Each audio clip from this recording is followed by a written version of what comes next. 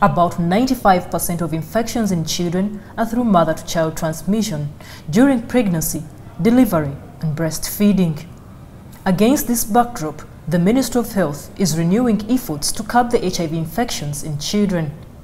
It has launched an antiretroviral therapy regimen called Option B+, and we shall be giving the antiretrovirals to all HIV-positive pregnant women from three and a half months of pregnancy, and they will take these drugs for life.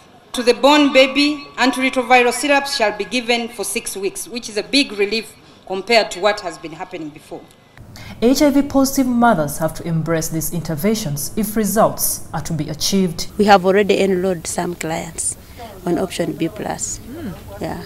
Many countries have taken on option B plus since WHO recommended it in 2012 as the third better option to A and B, under which an HIV-infected mother stops taking ARVs shortly after delivery when their immunity improves. History will blame us if Uganda continues to have children who are sick. Now, for a period of two years, the Swedish International Development Agency, SIDA, will invest about 16 billion shillings, about 6 million US dollars, to help with eliminating HIV in children in 19 districts, to be implemented by Elizabeth Glaser Pediatric AIDS Foundation and UNICEF.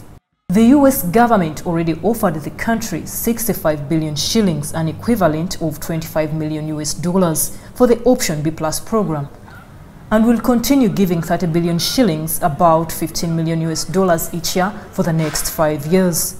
This is when the ministry is expected to have covered the whole country. All of us share a commitment to ensuring that no Ugandan child is born HIV positive that no child is compelled to begin life with a burden that no child should ever have to bear.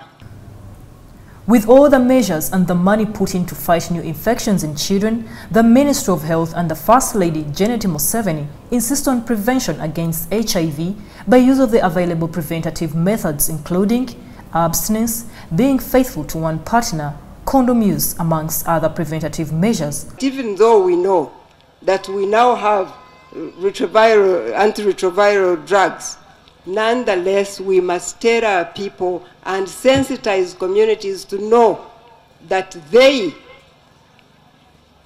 have the responsibility to protect themselves.